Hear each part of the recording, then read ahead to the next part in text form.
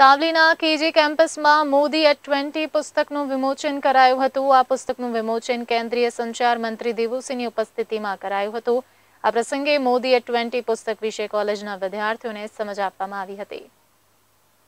સાવલીના Halol road પર સ્થિત કેજે કેમ્પસમાં કેન્દ્ર સરકારના સંચાર મંત્રી દેવુસિંહ ચૌહાણને કોલેજની મુલાકાત લીધી હતી અને Modi at the rate twenty પુસ્તકના વિવિધ પાસાઓની જાણકારી આપી હતી. ત્યારે Modi at the rate twenty dream of reality બજારમાં આવી રહ્યું છે. ત્યારે વડાપ્રધાન નરેન્દ્રભાઈ મોદીના તેર વર્ષ ગુજરાતના મુખ્યમંત્રી અને વડાપ્રધાનના આઠ વર્ષના શાસનકાળમાં રાજકીય, આર્થિક અને સામાજિક ફેરફારની ભારતના ખ્યાતનામ લોકોના વિચારોનું સંકલન કરી લખાયેલી Modi at the rate twenty પુસ્તક વિશે કોલેજના વિદ્યાર્થીઓને સમજ આપી હતી આ પ્રસંગે ગુજરાત યુનિવર્સિટીના પૂર્વ પ્રોફેસર વીસી જગદીશભાઈ ભાવસાર